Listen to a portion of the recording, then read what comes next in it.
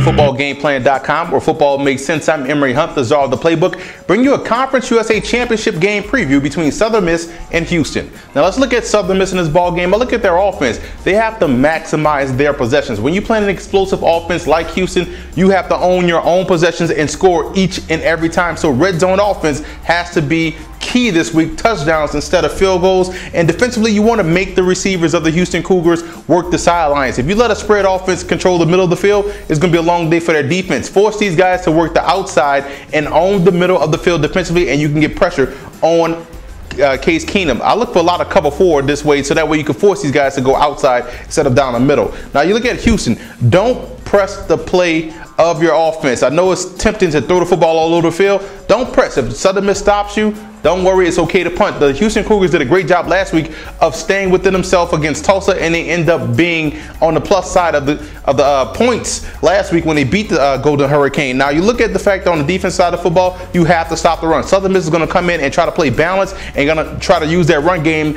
as an extra opponent to defend the, to chew up that TOP.